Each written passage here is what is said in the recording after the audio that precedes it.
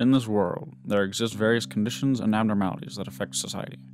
Arguably, the strangest of them all is the rare condition called over analytical, unreasonably, completely illogical, and irrational detectivism. Hello, Virginia. How are you? Good, good. So, Virginia, it's come to our attention that you've solved several mysterious cases throughout the school in recent weeks.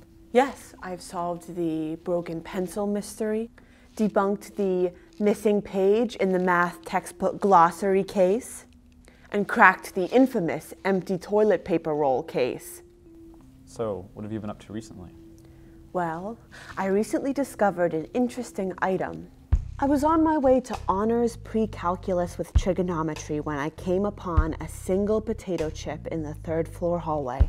Now you might think it's just a simple coincidence. However, I discovered that it was a Cape Cod sweet and spicy jalapeno potato chip. Soon, I discovered that this chip is not sold in the school cafeteria. Obviously, I searched every trash can in the building and found several potato chip bags, but none of them were the Cape Cod brand. To confirm my suspicions, I rigorously checked and analyzed the previous month of security footage. I then noticed a mysterious bag of Cape Cod potato chips lying in a corner of the third floor hallway. But however, after further analysis, I was unable to determine how the potato chip bag arrived in that location. So I went directly to the site of the conundrum and discovered that the bag was still there, untouched. I confiscated the bag as evidence and weighed it on a scale. I knew through extensive research that every bag of Cape Cod sweet and spicy jalapeno potato chips weighed exactly 2.5 ounces or 70 grams. The weight of the mystery bag, however, was 69.5 grams. Therefore, the mystery chip must have been in the bag at some previous point in time. That's quite enough.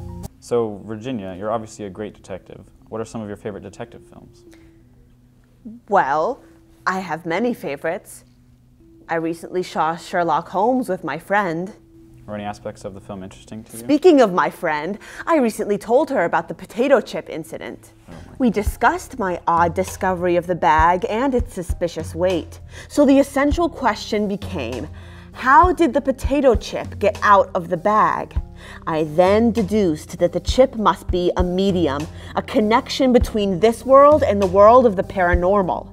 A paranormal creature of some kind must have permeated the bag and grabbed the chip. But, as my typical unintelligent friend, they would not believe me or my findings. So I got mad and left. Uh, excuse me? Wasn't there supposed to be a cut back to the interview here? Oh my. And it sucks because I know that I'm onto something revolutionary here. This is going to change the way people think of the world in and of itself. Wait, what is that? I was right the whole time!